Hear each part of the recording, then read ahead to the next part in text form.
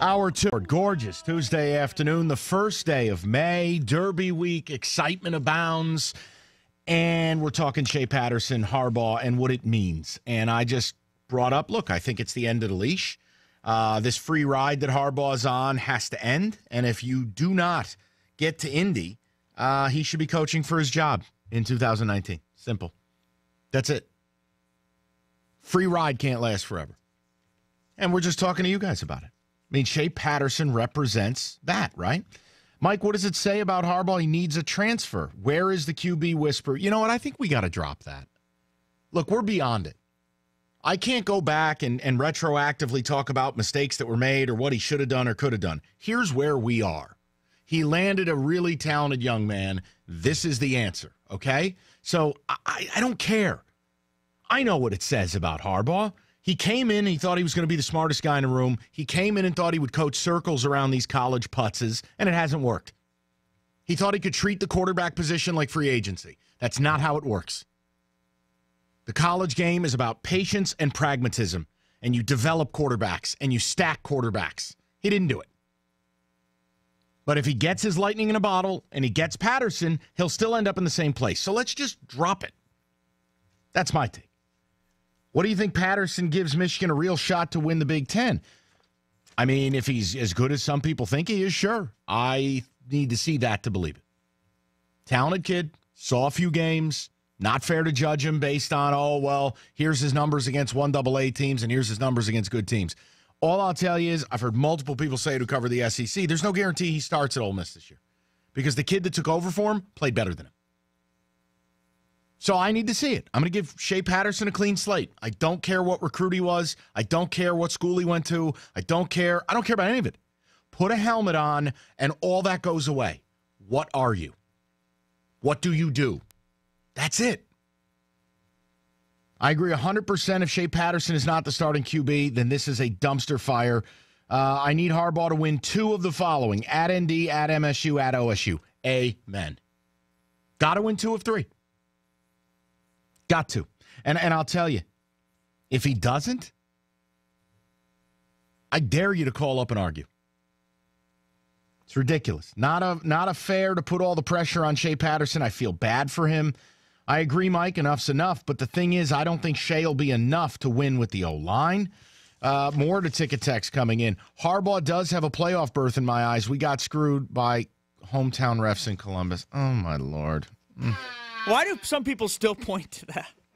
Like, come on, guys. Can we just move on from that? Suck a dick!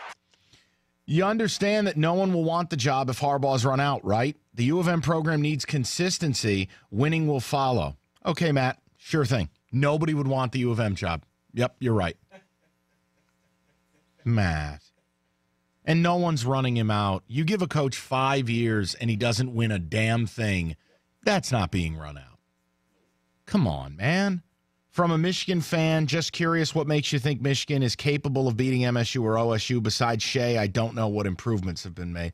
Boy, oh boy, some of you people love carrying this dude's popsicles. What is the matter with you? Honest to God. But let me ask you this, though, because you're saying it's kind of a conversation of what should happen versus what will happen. Do you think that overall Michigan fans, if that at the end of this year, if they don't go to Indianapolis, don't play for the Big Ten title, do you think it would be to a point now where the majority of Michigan fans would be upset? Yes. Do you think that you because you've always kind of said too that that blind loyalty is something that these Michigan fans always have? Oh, I, I think there's but, a certain portion of every fan base. I just think the portion with U of M's a little bit higher. Um, but no, Mike. At the end of this year, if they it, if they're one and seven against their their you know MSU and OSU, and they don't win the division, they don't go to Indy. Yeah, I think a lot of people would say he's coaching for his job in 2019. Kind of flip on Harbaugh, which never. Yeah, but Mike, that's how life works. That's how business works. I know, and and I, I don't think it'd be a hot take to say that if if that happens this year, that you could have people calling for his job after this year. Okay, they can do whatever they want, but that's not happening. Yes. No, it wouldn't. Our writer Will Burchfield has entered the studio, and he is wearing the largest flat brim hat I've ever seen. Will looks like a bobblehead. He had to take care of some business with David in here, apparently. That hat does not fit his head. That how is he wearing that? He looks like Buddy Lee. One of those snapbacks, yeah. But it's it, the brim. He looks like the kid from Sandlot when he was wearing the hat with the with the fish on it, the bass hat. Right. Great All right. movie. All right, good talk. Ticket text 97136. Let's get a few more calls in the mix. We got to talk Tom Brady momentarily. Les is up next. Hi, Les. Hey, Mike, how are you? Good, buddy. Um, I just got to give you kudos. I'm an out-of-state listener and uh, grew up in the state, and I was really looking forward to listening to you after the Spartans lost, waiting for your homer comments, and you didn't do it.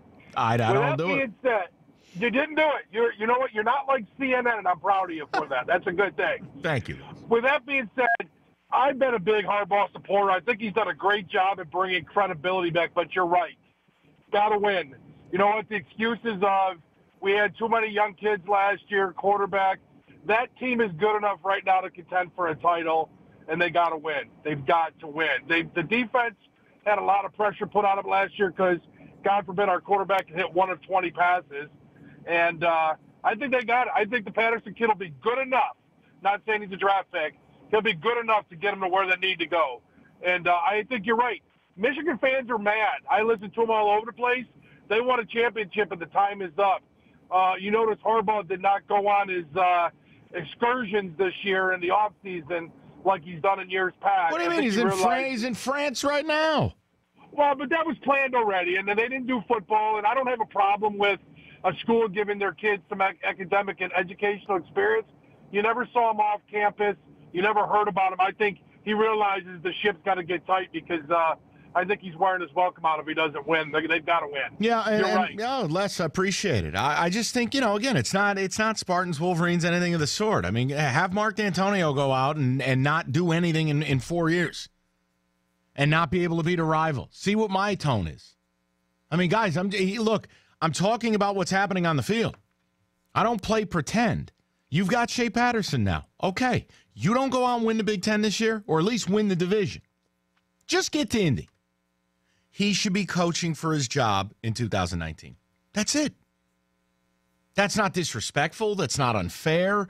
That that's not smarmy. You don't get a free ride forever.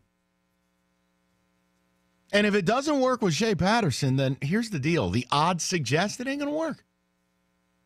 But what that last caller said is important too, because I I think it is refreshing this offseason to not hear about I all the it. sideshow. We're not hearing about Jim Harbaugh climbing a tree, jumping off a, a swimming pool with his shirt on. No, no, no. The Gatorade week, in the, cereal. Week of the MSU game, jumping into a pool fully clothed. And then you wonder why your team comes out and gets their teeth blown out. That's what's refreshing. We haven't heard about it at all this offseason. You, you know, really. what, you know what it makes you wonder?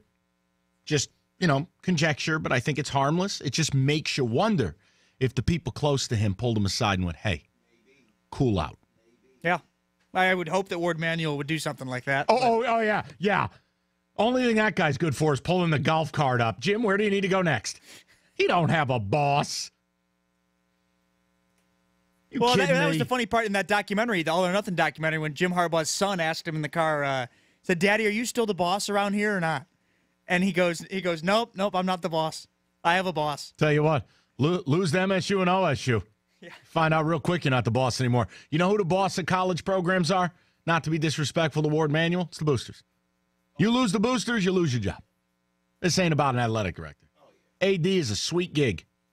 It's about the boosters. It's just such polar opposites with Michigan football and basketball because it, uh, John Beilein just goes about his business, doesn't do any, he doesn't not doesn't show off, doesn't put himself in the news, no sideshows.